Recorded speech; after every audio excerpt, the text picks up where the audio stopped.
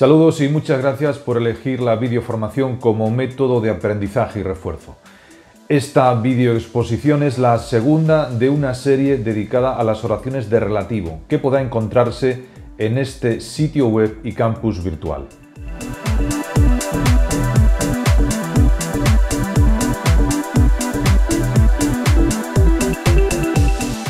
Las oraciones subordinadas de relativo se suelen encontrar dentro de un sintagma nominal y cumplen la función de complemento del nombre, que hace de antecedente.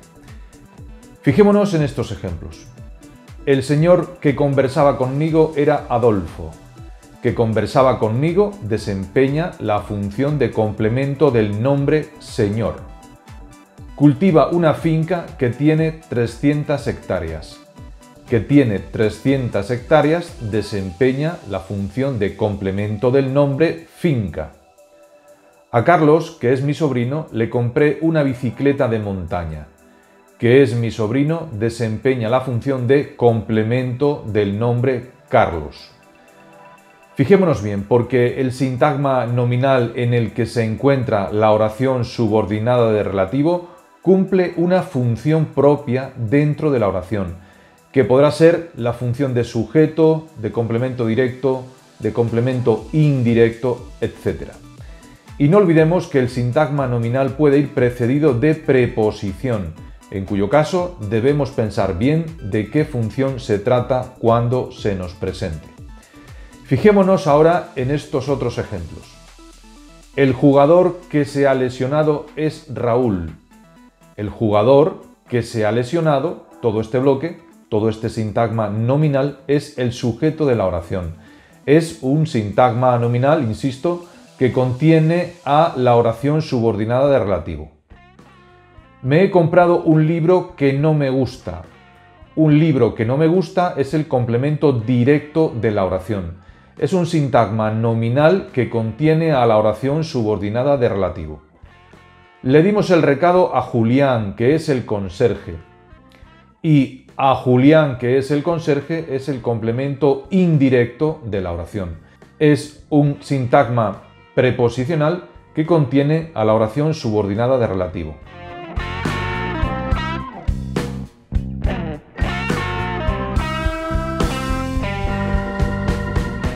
Y pasamos ahora a un bloque de ejercicios básicos en los que aparecen estos aspectos que acabamos de ver.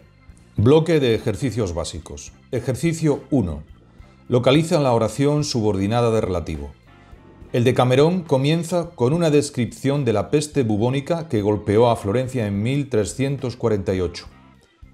Un vehículo anfibio es un vehículo que puede operar tanto en el agua como en la tierra o en el aire. Ejercicio 2. Localiza la oración subordinada de relativo contenida en el complemento directo de estos enunciados. No acumules cosas que no sirven para nada, Lee libros que te enriquezcan. Ejercicio 3. Localiza la oración subordinada de relativo, indica el sintagma en el que se encuentra y la función de este sintagma. Muchas de las citas y aforismos que salpican las obras de Shakespeare han pasado a formar parte del uso cotidiano. El flúor es un elemento mineral que se encuentra sobre todo en los dientes y en el esqueleto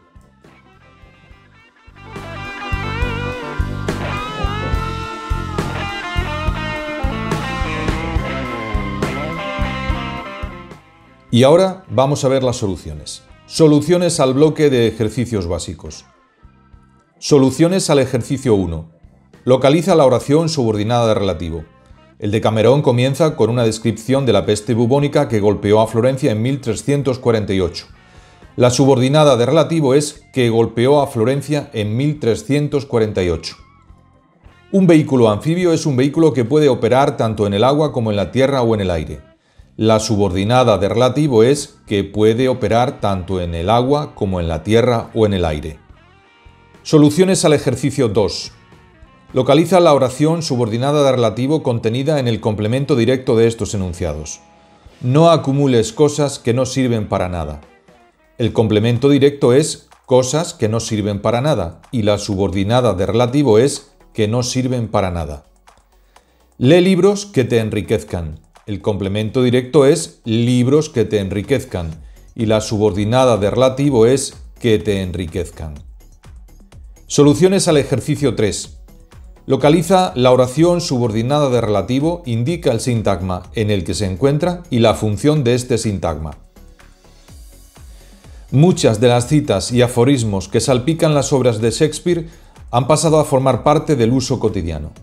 La subordinada de relativo es que salpican las obras de Shakespeare. El sintagma en el que está inscrita esta subordinada es muchas de las citas y aforismos que salpican las obras de Shakespeare y realiza la función de sujeto. El flúor es un elemento mineral que se encuentra sobre todo en los dientes y en el esqueleto. La subordinada de relativo es que se encuentra sobre todo en los dientes y en el esqueleto. El sintagma en el que está inscrita esta subordinada es un elemento mineral que se encuentra sobre todo en los dientes y en el esqueleto y realiza la función de atributo.